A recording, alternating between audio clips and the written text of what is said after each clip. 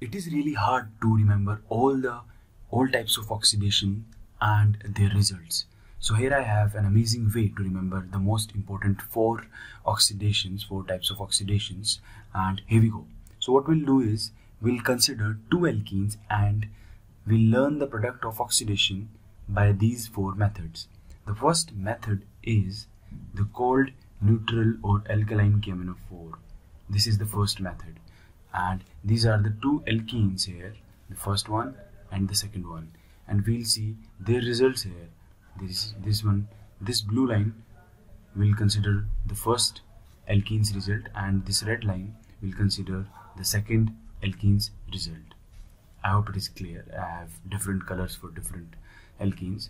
So what happens is in the first case when we give cold neutral or alkaline KMnO4 it breaks only the pi bond. I hope you know uh, which one is the which one is the pi bond. In in double bond the one bond is the sigma bond and the other bonds which we add after that will be considered as the pi bond. So here this one of this bond in C double bond C is a pi bond and in the second alkene as well there is a pi bond and there is a sigma bond so in first case, cold neutral or alkaline KMnO4 breaks only the pi bond of the alkene and adds one OH to each carbon. As you can see, when this one bond, one pi bond is breaked and when we can add each OH, we can add OH to each carbon, we get this result. It is very very clear as you can see. And when we take another alkene, the second alkene, then we can also see that the pi bond breaks and we get an OH on each of the carbon. It is very simple to remember, right? This is the least oxidative power. As you can see from left hand side to right hand side, our oxidation power is increasing. Alright, so let's move ahead to the second result, to the second power of oxidation in which we what in which we took O3 and then we put H2O with zinc that is water with zinc. This type of oxidation is actually reductive ozonolysis. It breaks the sigma bond besides the pi bond. So what we can see is in this in the first case only the pi bond was breaked and was replaced by an OH on each carbon. So in this case it adds one more set of OH groups. When a carbon has two OH groups on it, it becomes C double bond O after releasing a molecule of water. As you can see that uh, it becomes C double bond O and C double bond O when one of the uh, sigma bond which was left on the carbon was removed. So there will be two products of each alkene.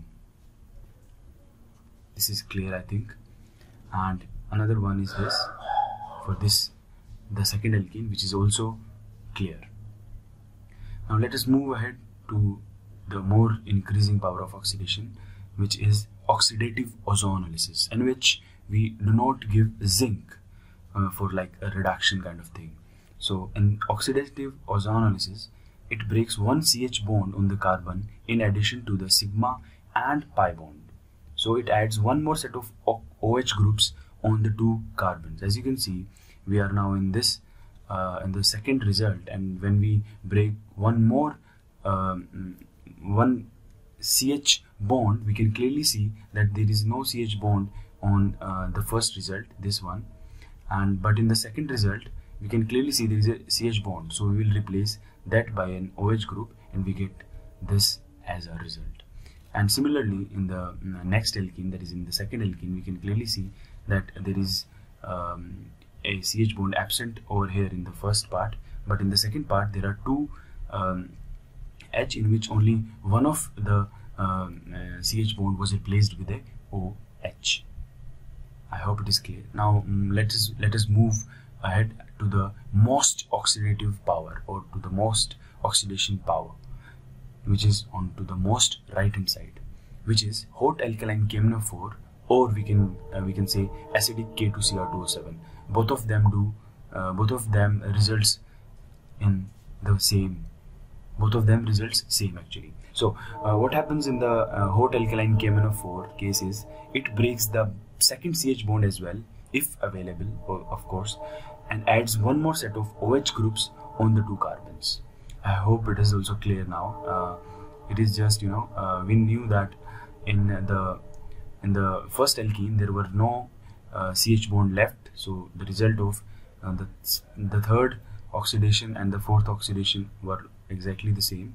But in the second alkene we had one more CH bond on the second part of the result. So what happened is uh, a, a, OH bond was a CH bond was replaced with an OH and a molecule of water was removed such that uh, the second part which became CO2 I hope it is clear and uh, according to me this is the most amazing way that you can uh, remember uh, like the most four most important oxidation four most important types of oxidation.